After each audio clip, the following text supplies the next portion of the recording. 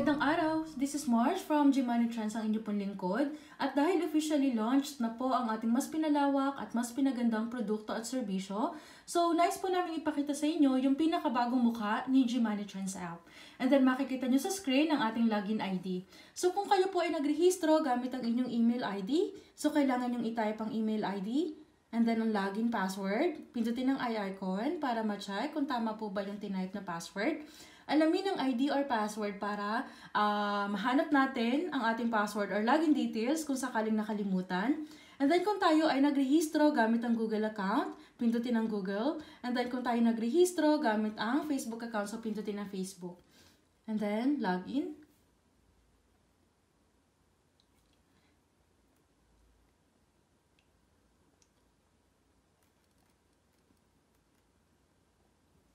So, dito sa home screen, makikita natin yung mga bagong produkto at serbisyo na ino-offer ni Gmoney Trends. So, meron tayong Gmoney Pay account. So, dito sa Gmoney Pay account, kung kayo po ay passport user or walang bank or passport user na walang bank account dito sa Korea, maaari nyo pong gamitin si Gmoney Pay account as your savings account. Maaari nyo din siyang gamitin sa pagtanggap ng pera, pagtanggap ng salary monthly, And then, pagtanggap ng payment mula sa kaibigan na nasa loob ng Korea or nasa ibang bansa. And then, makikita nyo yung Gmoney Pay account details nyo. Okay. So, ito yung inyong unique account number, ang bank name, bank code sa ATM machine, and then yung balance ng inyong Gmoney Pay account. So, makikita nyo po yung inyong na-register na bank account. And then, makikita nyo rin po yung transaction limit. Magkano ba yung kailangan nating ipadala per transaction gamit ang ating Gmoney Pay account. So, para sa ATM, meron tayong hanggang 300,000 Korean won. Sa pagsasad ng money domestically, meron tayong 2 million Korean won. Sa internationally naman, meron tayong 5 million Korean won. So, ito yung transaction or yung limit natin per padala. And then, ang limit natin per padala or per day ay 3 million Korean won sa ATM, 5 million Korean won pag domestic, and then pag international, so hanggang 50 million Korean won. So, kung nice nating mag, mag-top up ng pera sa ating Gmoney Pay account, so pindutin lamang ang Add Money. And then kung nais nating magpadala internationally, gamit ang Gmoney Pay account, pindutin natin ang Send Money, and then Receive Money kung gusto nating mat matanggap yung padala ng ating mga kaibigan or pamilya na galing sa ibang bansa or kahit narito sa loob ng Korea. So, again, itong tatlong main na buttons. So, ito yung magagamit natin kung nais natin mag-top up kay Gmoney Pay account, kung nais natin magpadala kay Gmoney Pay account natin or sa pamilya natin sa loob at labas ng bansa. And then, receive money para makatanggap. So, pindutin ang add money. Meron tayong tatlong paraan kung paano tayo magta-top up sa Gmoney Pay account natin. Meron tayong direct debit, So, dito, maaari natin palitan yung bank account na nais natin. Ayan. So, maaari din tayong mag-add ng bank account ng tatlo hanggang limang bank account. And then, ilagay ang amount. Pindutin ang add money at ilagay ang transaction PIN code. So, uh, meron po tayong separate video na ginawa para sa tatlong prosesong ito para mas lalo nating maintindihan kung paano ba ginagawa itong pag-add ng money. And then bank transfer, kung tayo ay gumagamit ng mobile banking or internet banking. So, ito yung pinaka main account natin. Dito natin ito transfer sa ating unique Gmoney Pay account number. Ito yung ating receiving bank and maaari tayong magpadala ng hanggang 5 million Korean won. So, meron tayong button sa baba, how to add money, para mas uh, makita natin kung ano ba yung mga receiving bank na kailangan nating piliin pag gumagamit tayo ng mobile banking or sa ATM, makikita natin kung ano yung receiving bank at ang code nito. Depende sa bank account na gamit natin. Let's say, Kabhana yung gamit ko. So, pag pumunta ko sa uh, ah, ATM, itong MSD, code ay 50, ito yung kailangan kong pindutin. Or kung gumagamit ako ng mobile banking or internet banking, itong KMFSC ang kailangan kong hanapin. So, para sa cash deposit naman, so kailangan nating pumunta sa pinakamalapit na ATM machine or Lotte ATM machine. So, maaari nating ma-search kung saan ba yung mga available na Lotte ATM. Ayan. And then, meron tayong how to add money uh, tutorial. So, dito makikita natin kung paano gamitin ang ATM machine. Again, ito yung ating unique bank account number, ang ating bank code, ang ating deposit or receiving bank account. And then, dito sa cash deposit, so kung kayo po ay walang bank account na ginagamit, so wala kayong check card, maaari kayong mag-deposit via Lotte ATM. So again, meron tayong separate videos para sa tatlong uh, tutorial ng pag-add ng money sa ating GMoney Pay account. And then kung nais natin mag-send ng money, internationally. So, pindutin ang send money. Kung tayo po ay nakapagpadala na sa ating receiver before, maaari natin pindutin ang send button. And then send money. Piliin ang receiving method kung siya ba ay cash pickup or bank transfer. And then ilagay ang amount ng ating ipapadala. So, send money. Kung kayo naman po ay magpapadala uh, sa inyong bagong receiver, pindutin ang button Add Receiver. Ilagay ang receiving country. Ilagay ang receiving method kung siya ay bank account. Ilagay ang receiving uh, receiving bank account. Let's say Banco de Oro. Then pindutin ang next. Kailangan nating fill upan yung mga fields na hinihingi ni application. So done. Next. So dito sa pagpapadala ng pera, kailangan nating ma-check kung tama ba yung mga information ni receiver na nilagay natin. And then, kailangan natin ilagay yung transaction PIN code para ma-confirm yung ating padala. So, next is receive money. So, hindi pa siya available as of now, pero soon, magagamit na natin yung function ni receive money. Dito sa receive money, so maaari nating makuha or matanggap yung padala galing sa ating pamilya sa labas ng bansa or maaari nating matanggap yung mga payment or padala ng ating friends na nasa loob ng Korea. Maaari din tayong tumanggap ng money galing sa ating sahod or salary monthly. So, makikita nyo sa screen yung direct debit account and then makikita nyo yung 2. Ito ay kung ilan yung na-register nating bank account. So, meron akong dalawang na-register na bank account and kung nais nyong maglagay or mag-add pa ng another bank account nyo, pindutin lamang ang add direct debit account and kailangan nyo mag-undergo sa mobile verification and bank verification. So again, sa pag-add ng money, ito lamang yung kailangan pindutin. Or sa pag-add ng bank account, ito lamang yung kailangan pindutin.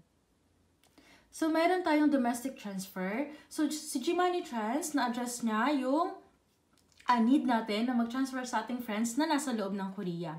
So, magagamit natin ang domestic transfer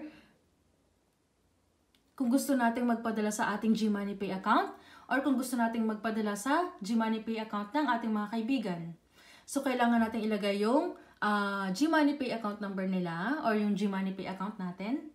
And kung nais nating magpadala sa bangko ng ating kaibigan, so let's say Kev Hana, kailangan nating ilagay yung receiving bank account number ng ating papadalhan.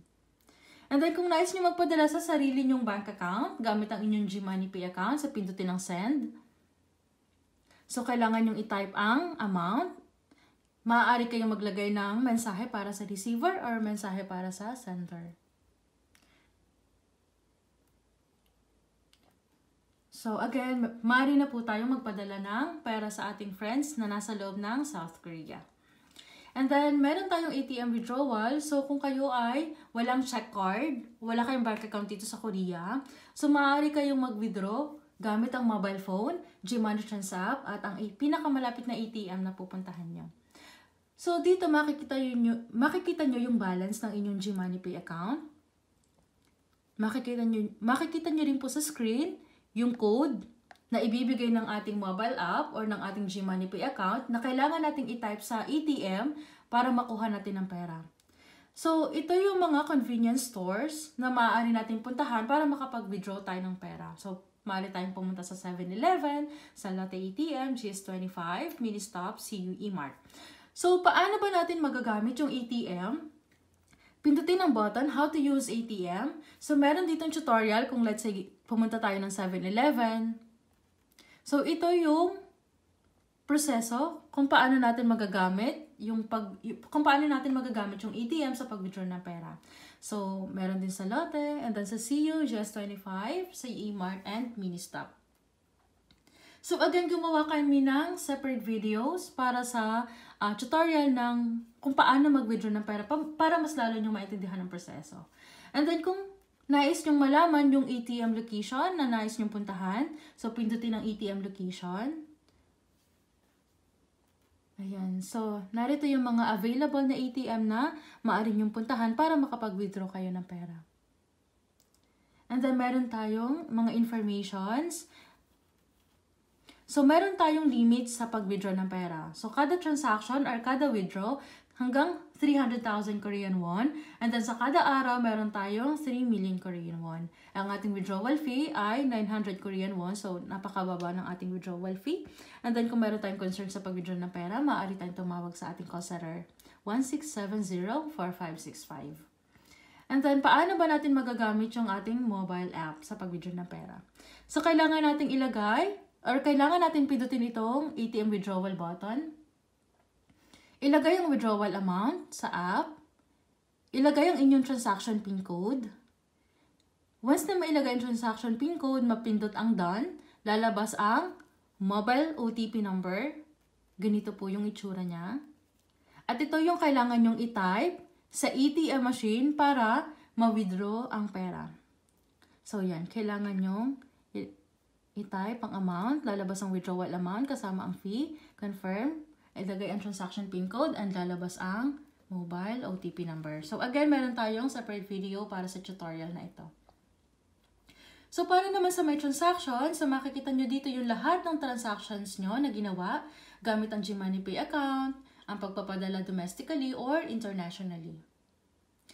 Ito yung transaction na ginawa sa GMoney Pay account, transaction para sa international remittance, transaction para sa domestic transfer, transaction para sa ATM withdrawal. So, mas madali nyo matatrack yung mga transactions na ginawa nyo gamit ang My Transactions. And then, para naman sa bank details, so, maaari, so dito sa bank details, nakalagay dyan yung mga bank account na inyong nirehistro. So, maaari kayong mag-add ng bank account, depende sa kung ilan ang nais yung gamitin. And then, meron tayong schedule transfer. Dito sa schedule transfer natin, kung tayo ay nagbabayad monthly ng, let's say, sa insurance or sa property na uh, kinuha natin sa Pilipinas, so, maaari nating magamit ang schedule transfer. Dito, automatic, mababawas ang pera para pambayad dun sa uh, uh, kailangan natin bayaran sa Pilipinas sa date na nilagay natin sa schedule transfer. So, mas maganda po ito kung kayo po ay uh, minsan nakakalimot sa pagbabayad. So, ito yung ating kailangan gamitin. So, at least, hindi na natin kailangan pang i-check or, or mag-process ng pagpapadala ng pera para mabayaran yung ating mga obligations sa Pilipinas. So, dito sa schedule transfer, automatic, ando sa date na nilagay natin, so mababawas ang payment. Mobile recharge. So, hindi pa siya available as of now, pero malapit na. And then, dito naman sa mobile recharge, uh, maaari tayong mag-load ng ating SIM card dito sa Korea and then sa Pilipinas. So, maaari tayong mag-load sa Globe, sa Smart, sa KT, sa LG, and then sa SKT. Meron tayong coupon button. So, dito naman makikita natin yung invite code natin. So, get cashback coupon and give and get free. So, dito, sa ating invite code, maaari natin itong i-share via Facebook, SMS, sa ating mga kaibigan para magamit nila or mailagay nila upon their um, registration. And then makaka-receive sila automatic or instant ng 5,000 Korean won. And then at the same time, kayo po na nag-invite, makaka-receive kayo ng 5,000 Korean won upon uh, sa first transaction ng inyong in-invite. Let's say kayo po ay nakapag-invite ng 10 tao or 10 kaibigan and then hindi nyo po nagamit yung 5,000 Korean won sa inyong mga padala. So, naipon siya hanggang 50,000 Korean won. Maaari nyo po itong uh, ma-withdraw or maaari kayong mag-request ng cashback. Dito naman sa remittance, so meron tayong um, mga transaction, bilang ng transaction. And then, pag nakagawa tayo ng 10 padala,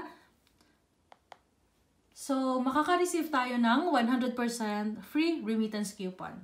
So, automatic ito, once natapos yung ating ikasampung padala, so makikita nyo po sa inyong coupon, meron kayong na-receive na 100% free remittance coupon. So, free na po ang inyong ika-11 na padala.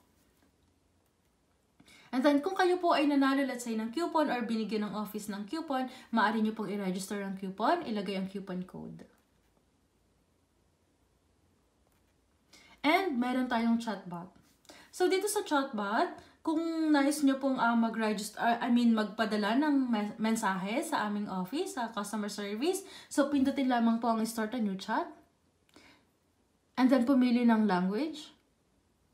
And then, pumili po kayo, ano po ba yung concern na nais nyong uh, itanong sa ating customer service. And makikita nyo po dito ang walong benefits ng Gmoney Pay account. So, scroll.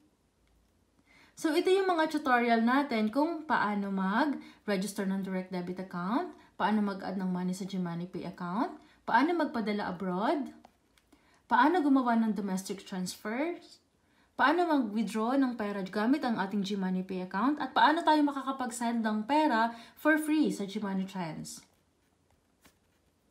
So, pindutin natin. And then, maaari natin palitan ang language. Depende sa gusto natin. So, maaari natin palitan sa Tagalog. Ayan. So, translated into Tagalog siya. So, mas madali nating maiintindihan.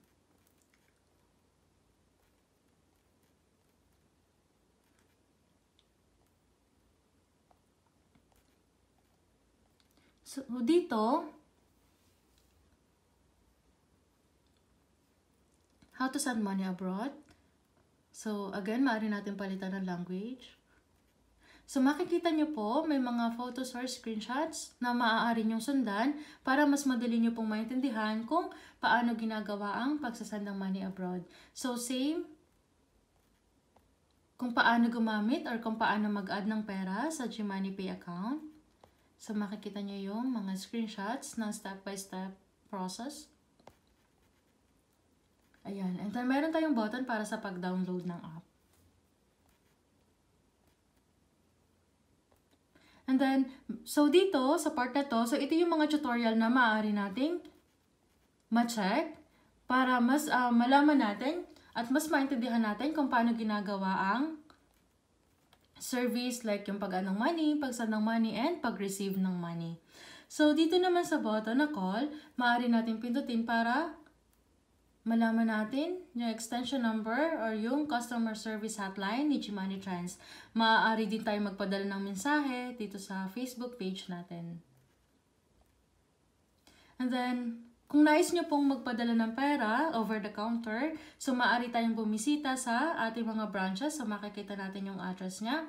Or kung meron kayong mga concerns at nais nyo uh, pumunta sa branch, so i-click lamang po or i-press po ang branch button. So para dito naman sa home, makikita nyo po kung ano ba yung Gmoney Trans, yung tungkol sa company, and paano nyo ba mamamanage yung money nyo sa Gmoney Pay account. Makikita nyo din po dito yung mga partner banks natin. Makikita nyo po dito yung mga review ng ating mga gumagamit ng service. Yung mga announcements at saka news. At of course, meron din tayong mga tutorials. So dito sa vlog, makikita natin yung mga tutorials ng ating services na ino-offer. So, i-click lamang po ito, read more. Ayan. So, dito makikita nyo po kung paano ba ginagawa ang pag-add ng money, pagsasend ng money, and pag-receive ng money. So, meron tayong button para sa uh, Facebook. So, ito po ay nakadirect sa ating Facebook page. So, kung nais nyo po magpadala ng mensahe sa ating uh, customer service para sa ating mga concerns sa padala or sa registration, so, maaari nyo pong pindutin ang Facebook at magsend ng uh, mensahe. So, maaari nyo ma-check yung rate. So, ang rate natin ngayon is 41,773. Maaari nyo ring magamit ang coupon. Kung kayo ay magpapadala, maaari mag-register ng coupon kung naka-receive kayo ng coupon. And then, punta tayo sa menu. So, dito, makikita natin yung ating profile, ang ating customer ID. So, kapag uh, nagsasend tayo ng uh, concerns regarding sa padala natin, kadalasan hinihingi ni customer service ang ating customer ID. And then, meron tayong remittance limit kada uh, taon. So, meron tayong 50,000 50, USD or 50 million Korean won. So, ito yung nagamit na amount. And then, ito yung remaining amount na maaari kong ipadala. And then, yung ating remaining remittance limit, magre-reset siya kada January 1st. So, let's say natap naubos na yung ating limit ng December, uh, let's say December 12. So, maaari tayong makagamit ulit sa January 1st. And then, update complete. So, makikita natin yung Gmoney Pay account. So, ito yung ating unique account number, ang ating unique Gmoney Pay account ang ating main bank account na nirehistro. So again, maaari natin siyang palitan. Maaari din tayong mag-add ng uh, iba pang bank account na nais natin. And makikita nyo din yung transaction limit kada padala and then kada araw. Depende sa kung anong gagamitin nating service, kung ATM, domestic, or padala internationally. So, meron tayong direct debit account. So, makikita natin dito kung ilang bank account ang nirehistro natin at saka yung details. Makikita rin natin yung amount or ang laman ng ating bank account. Maaari tayong mag-add ng isa pa, dalawa hanggang limang bank account. So, merong inbox. So, dito makikita natin sa notice kung meron bang uh, mga update regarding sa, sa rate, regarding sa mga uh, system maintenance, kung meron. And sa mga updates ng ating partner banks. So, maaari tayong mag-change ng login password. Maaari tayong mag-change ng phone number. Maaaring mag-upload ng passport. So, dito sa pag-upload ng passport, uh, let's say kayo ay kumuha ng bank account gamit ang ERC, ang passport, and then nagrehistro kayo sa Gmoney, sa Gmoney Trans gamit ang ERC. So, maaari kayong magpadala hanggang 1 million Korean won. Pero kung nais niyo magpadala ng above 1 million Korean won, so kailangan nating i-upload ang ating passport. And then dito sa extend debit account expiration date, So, kada taon na e-expire ang ating niregister na direct debit account or yung bank account na nirehistro natin. So, kailangan natin siyang i-extend. Sa pag-extend, kailangan natin mag-undergo ng mobile verification and, and then bank verification. So, same lang to nung sa pagre-register natin ng bank account. So, kung tayo ay nakalimot ng ating PIN code, maaari natin pindutin ang Find Transaction PIN Code. Kung nais naman natin palitan ang ating PIN code, so maaari natin pindutin Change PIN Code. And then sa receiver, maaari din tayo mag-hide ng receiver. Kung uh, medyo nadadamihan na tayo sa list ng ating receiver, so maaari natin pindutin ang uh, hide receiver. And then kung tayo ay um, nais mag-download ng ating global transfer statement, let's say as proof of payment, So, maaari tayong mag-download dito. Ilagay lamang kung ano yung transaction na nais nating i-download. Ilagay ang month. So, maaari tayong pumili. Ayan, let's say, from January. And then, pindutin ang find button. So, makikita natin yung transaction na ginawa natin from January 19 hanggang February 19. And then, maaari natin siyang isend sa email natin or maaari natin siyang i-download. And then, so dito sa support, makikita natin yung mga frequent asked questions. So makakatulong po ito para mas lalo nating maintindihan yung paggamit ng bagong produkto at serbisyo ni Gmoney Trends. So dito sa manual, so ito ay tutorial, makikita nyo po dito kung paano ginagawa yung service ni Gmoney Trends. Like for example, kung tayo ay magpapadala ng pera or ay magre-register gamit sa Facebook account, So, makikita natin yung mga screenshots or meron tayong mga photos na maaari nating sundan. So, mas pinadali para mas lalo nating maintindihan kung paano ba ginagawa ang service na ito. And then, meron tayong video, uh, video manual. So, dito, once na pinindot natin ang, ang video, so magde-direct tayo sa YouTube account ni Gmoney Trends. And then, maaari tayong mag-email kay customer service, maaari tayong tumawag kay customer service, and makikita natin yung terms and conditions between uh, Gmoney Trans, partner banks, and uh, sa customer. So, itong green na to, makikita nyo as your chatbot. So dito, maaari kayong mag-send ng ah, mens- mensahe direct sa ating customer service gamit ang chatbot. And then, language. So, maaari nating palitan. Depende sa nais natin kung Korean, English, or Tagalog. So, ito po yung pinakabagong mukha ng ating Gmoney Trans app. Again, ah, sa service natin, tayo ay merong Gmoney Pay account detail, nag magsisilbing ating bank account. And then, maaari tayong mag-add ng money, maaari tayong mag-send ng money internationally. And then, domestically, maaari tayong mag-receive ng money. Maaari tayong mag-withdraw kahit wala tayong bank account gamit lamang ang Gmoney Pay account. So, kahit walang check card, so maaari tayong pumunta sa Lotte ATM para makapag-withdraw.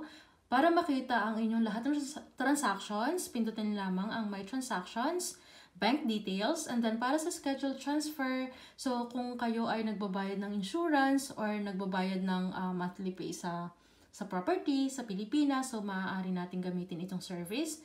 Kung nice nyo mag-load ng inyong mobile phone dito sa Korea or sa Philippines, so ito lamang ang kailangan natin gamitin.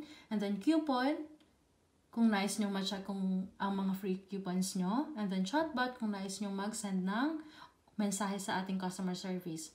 So dito makikita nyo yung tutorial and call, branch, home, blog, Facebook. And then ito po yung ang mga bagong produkto ni Gmoney Pay na or Gmoney Trans na ino-offer para sa inyo. So ngayon napakita na po namin ito. Sana po ay patuloy natin suportahan ng ating serbisyo, ang aming serbisyo, ang Gmoney Trans. Maraming salamat po sa inyo.